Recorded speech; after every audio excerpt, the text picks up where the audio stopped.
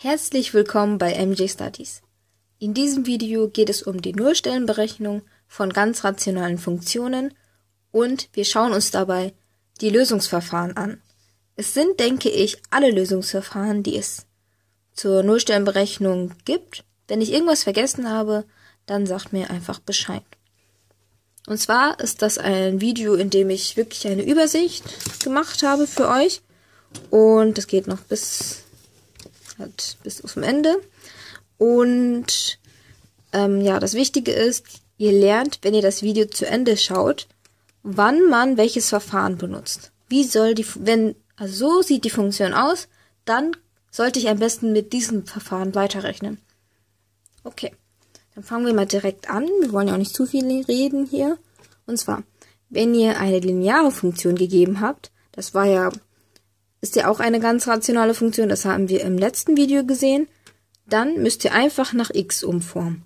Das wisst ihr, denke ich. Das habt ihr auch oft genug wahrscheinlich gemacht. Wenn ihr jetzt ein Video zur ganz rationalen Funktion anguckt, wisst ihr, denke, viel über die linearen Funktionen Bescheid. Ähm, also hier zum Beispiel einfach minus n und dann durch m, dann hat man schon x. Dann quadratische Funktionen. Das sind einfach Funktionen, mit, die so aussehen. Und da gibt es aber verschiedene Fälle. Und zwar Fall 1. Was ist denn, wenn b gleich 0 ist und c gleich 0 ist? Das heißt, die beiden Ausdrücke, die existieren gar nicht, weil die 0 sind. Weil b gleich 0, 0 mal x sind 0 und c 0. Da steht nur ax Quadrat. Das heißt, ich habe eine Normalparabel. Das ist ja f von x gleich ax Quadrat. So ist die Normalparabel definiert. Und da ist die, Null, die Nullstelle, beziehungsweise der Nullpunkt, weil das ja ein Punkt ist, einfach 0, 0. Okay? Dann der zweite Fall. b ist gleich 0. Das heißt, der mittlere Ausdruck ist nicht mehr da. Ich habe nur ax plus c stehen. ax plus c, das heißt, es reicht, wenn ich die Wurzel ziehe. Ich, also zum Beispiel c, also ich rechne minus c auf beiden Seiten, dann steht hier minus c gleich a mal x dann durch a rechnen und dann einfach die Wurzel ziehen. Das ist jetzt ganz allgemein erklärt. Ich werde natürlich auch Beispiele machen. Aber jetzt wirklich als Übersicht, was ihr machen sollt, wenn ihr welche Funktion habt. Gegeben habt. Genau. Dann Fall 3. c ist ungleich 0, also alles ist ungleich 0. Oder c ist gleich 0. Das heißt, was will ich damit sagen? Ihr habt immer so einen Ausdruck mit x Quadrat drin und ein x ist auch dabei. Das ist dann komplizierter. Da könnt ihr nicht einfach die Wurzel ziehen. Wenn ihr die Wurzel hier ziehen würdet, dann steht da jetzt irgendwie hier, also hier wird dann x Quadrat wegfallen, also das Quadrat fällt dann weg. Das ist schön, aber hier steht dann Wurzel von b mal x. Das will ja niemand haben. Und deswegen haben wir zwei Tricks dabei kennen, also habt ihr bestimmt kennengelernt, die quadratische Ergänzung, das lernt man am Anfang so kennen, und dann habt ihr die PQ-Formel kennengelernt. Die benutzt ihr, wenn ihr diesen Ausdruck habt. Und sonst könnt ihr ganz einfach rechnen. So, dann kommen wir jetzt zu den ganz rationalen Funktionen, wo der Grad größer gleich 3 ist. Das heißt, x hoch 3, also ab x hoch 3, x hoch 3, x hoch 4, x hoch 5 und so weiter. Da gibt es auch einige Verfahren, die ihr kennen solltet.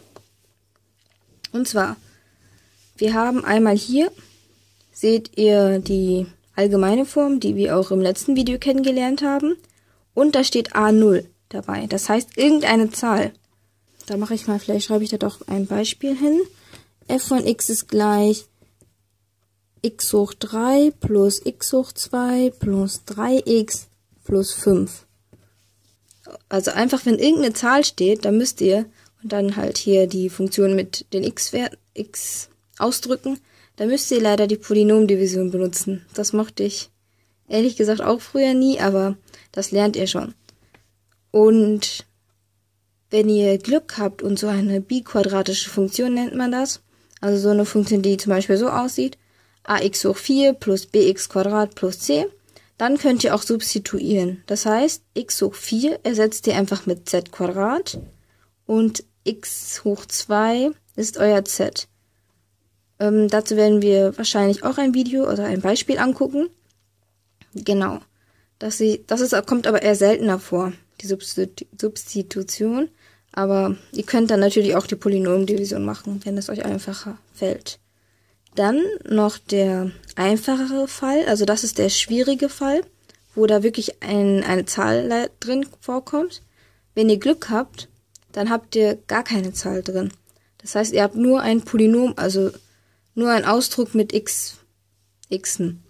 Genau. Das heißt, habe ich hier nochmal aufgeschrieben, ihr habt sowas hier äh, so, so einen Ausdruck habt ihr oder einfach euer A0 ist gleich 0. So kann man das auch beschreiben. Das heißt, ich habe keine Zahl. So, was kann man dann denn machen? Dann kann man äh, Produktform durch Faktorisieren bzw. Ausklammern erstellen. Das heißt, ich habe hier zum Beispiel so eine Funktion gegeben, die ich jetzt gleich 0 gesetzt habe. Dann kann ich einfach hier zum Beispiel mein x ausklammern, weil hier steht dann x hoch 3, hier steht x hoch 2, hier steht x. Und wenn ich das ausklammere, dann steht da x mal x hoch 2, x und 5 mal x hoch 0 quasi. Ich weiß nicht, ob, äh, ob ich euch damit verwirre, aber das heißt, hier habt ihr den Grad einfach kleiner gemacht, um 1. Hier steht ja eigentlich eine 1 und dann steht hier eine 0. 1 minus 1 sind 0. Also ihr habt das verkleinert. Und das ist ja super, weil jetzt steht da x Quadrat plus 2x plus 5. Und das ist ja eine quadratische Funktion. Dann müssen wir wieder nach oben schauen und können zum Beispiel mit der PQ-Formel hier die Nullstellen berechnen. Und hier haben wir halt die Nullstelle, das ist einfach 0. Ähm, und zwar gilt das nach der Regel, es ist 0, also es kommt 0 raus, wenn die Faktoren auch 0 ergeben.